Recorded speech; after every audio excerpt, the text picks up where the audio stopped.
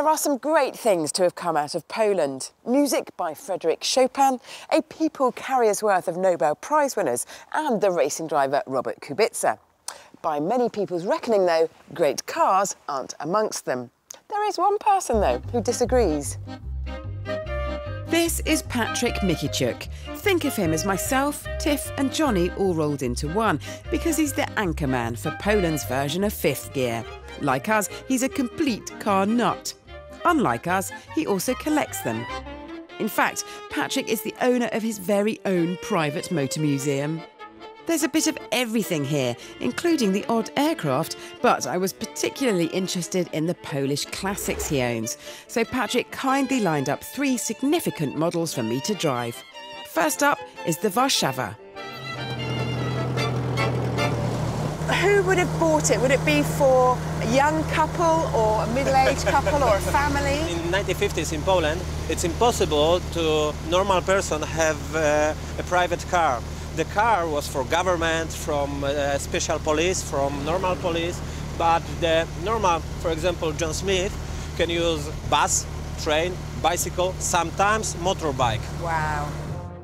The Warszawa was also commonly used as a taxi, and although beyond the means of most Polish people, a quarter of a million of them were eventually produced over a 22 year production period. I feel quite sort of chic driving it, but also, you know, it's got old sort of agricultural performance. The maximum speed of this car is about uh, 95 kilometers per hour. I mean, clearly this is a very old car. The brakes, you know, are vaguely there. Every and brake in this kind of car is working like that. Time for Patrick's next choice, the FSO Syrena, affectionately known as the Little Siren.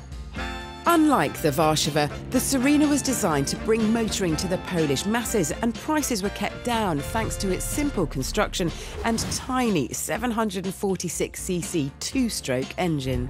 Only two cylinders here. Yes. And it's yeah. running quite well. It's running beautifully, like, you know, little and motorbike engine. It's really, it's, it's a fruity little sound, isn't it? Okay, 30 kilometers per hour. Now we have 40 kilometers per hour. now we are feeling that we have front wheel drive. Massively, I can feel the, it's almost like torque steer. But do you know what? This is very much like the Fiat, a modern Fiat 500. Yeah, of you course. know, because it's got you know a colourful dash. It's got a, a, beautiful dial straight ahead of you. It's got no airbags. Got no ABS. Uh, no. Don't have a belt. No, I know, no seatbelt. What kind of person bought this car? Everyone wants to buy this car, you know. Uh, from, everyone from dream like... about this car because okay. everyone dream about new car. The Warsaw, uh, it's impossible to buy. Syrena, it's possible to buy, and everyone dream about the Polish Syrena. The problem was demand for the Syrena constantly outstripped supply. So, for many Polish people, the car remained a dream. In fact, second-hand Syrenas usually changed hands for more money than new ones. Finally, Patrick wants to show me a car that wasn't designed just for Poland, but to take on the world the FSO Polonez. Built under licence from Fiat, the Polonez shared underpinnings from the fairly ancient 125 model, but other aspects of the car were quite up to date.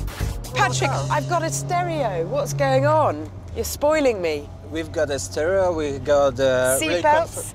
You can tell that you know it's the most modern car that we've driven today because the insulation and the mm-hmm. soundproofing is, is so much better. And you're starting to get a centre console now. I've got an independent seat. It's a typical car from 1980s. In fact, the Polonez was a pretty safe car for its time, passing both US and European crash test regulations, allowing it to be sold in those markets. Who was buying this car? Everyone want to buy this car. We sell this car lots of to Great Britain, to France, to Germany, uh, to Sweden. Construction of the Polonez lasted 24 years, but eventually it could no longer fend off the competition from more modern manufacturers and production ceased in 2002. As for FSO, that eventually folded in 2011, which brings us full circle because the now derelict factory site is where Tiff underwent his rally training earlier in the show.